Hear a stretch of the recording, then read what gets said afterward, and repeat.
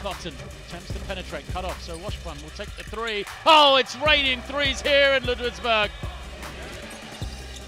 Pass. Cross court, all the way, the drive, Marinkovic.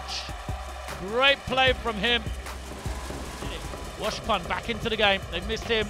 Glides in for a tough finish. Oh, he's hyped up, look at that. And now Hatcher, clock winding down, the extra pass in the corner. Marinkovic the three.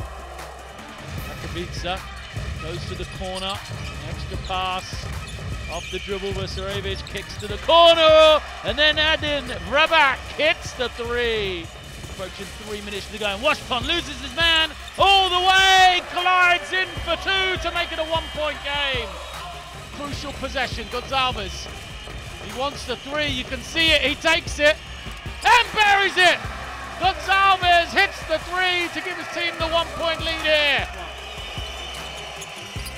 He does, and it is a rebound for Vasevic. So Hatcher then comes down. Team lead it, losing by one, goes all the way, kicks it, open look. The extra pass, and what a find!